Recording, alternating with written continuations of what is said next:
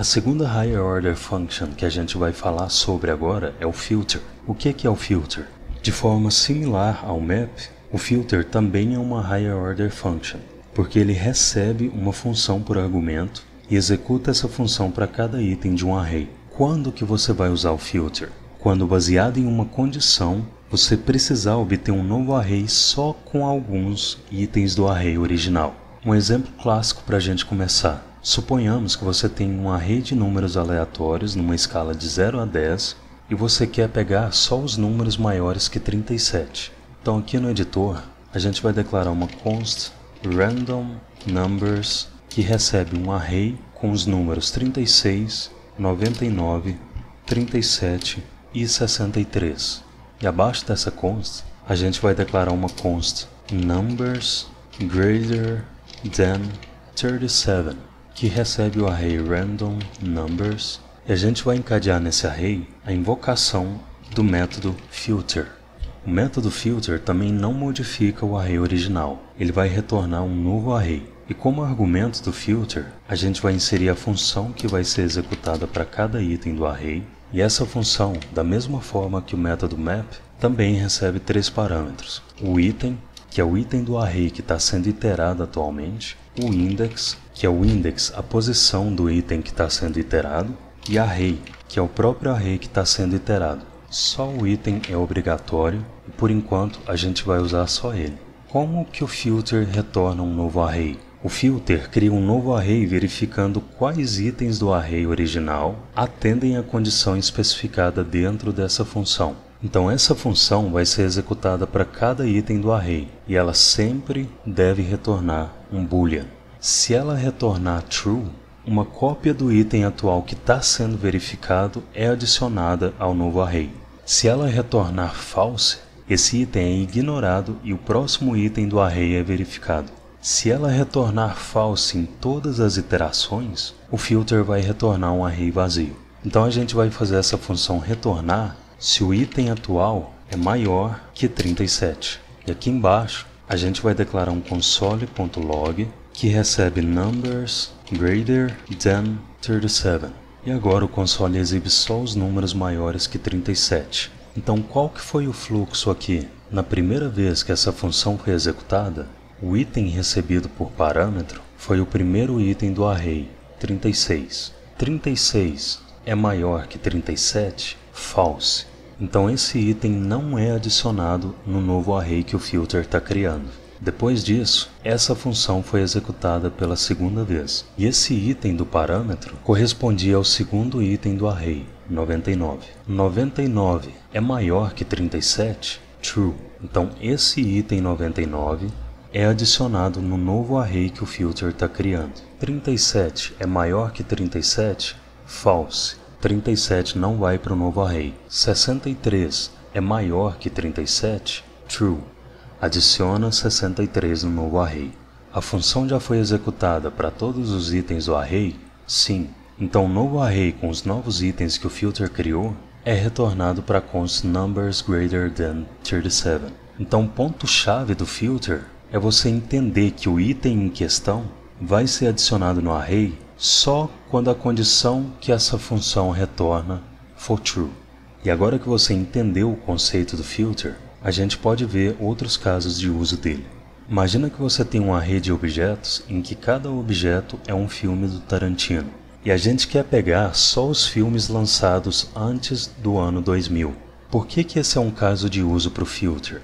porque a gente tem uma condição para pegar esses filmes, que é a data de lançamento. E a gente quer pegar só alguns itens desse array. Então aqui embaixo a gente vai declarar uma const movies before 2000 que recebe Tarantino movies.filter. E aqui dentro do filter a gente vai declarar a função que vai ser executada para cada item do array, ou seja, para cada filme. E nesse parâmetro, a gente pode usar a mesma estratégia que a gente usou antes com a função do exemplo do map. A gente vai aplicar um destructuring nesse objeto e pegar a sua propriedade release. Nessa função, a gente deve sempre retornar um boolean em relação à condição que a gente precisa especificar, que é a release menor que 2000. Vamos ver se deu certo? Aqui abaixo a gente vai inserir um console.log passando a movies before 2000 e a gente vê que a gente pegou só os filmes anteriores a 2000. E se a gente quiser visualizar os dados desse array em forma de tabela, a gente pode modificar esse log para table e a gente visualiza esses dados de uma forma mais organizada. Outro exemplo, imagina que você é um usuário de uma plataforma de nômades digitais e quando você visita o perfil de outro usuário da plataforma, existe uma feature que exibe em algum lugar na tela as cidades em comum que você e esse usuário já visitaram. Como que a gente poderia implementar essa lógica?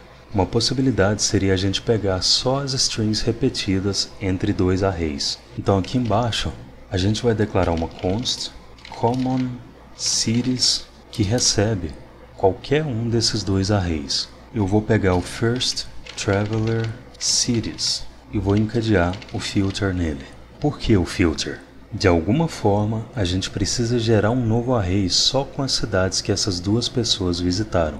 Ou seja, são dois indícios que a gente pode usar o filter. A condição que vai gerar esse novo array e o fato desse novo array ter só alguns itens do array original. Pode acontecer de dois usuários terem visitado exatamente as mesmas cidades? Pode. Uma possibilidade é um casal de viajantes terem perfis individuais na plataforma mas terem viajado juntos pelas mesmas cidades. Mas na maioria das vezes, esse novo array gerado vai ser menor que o array original.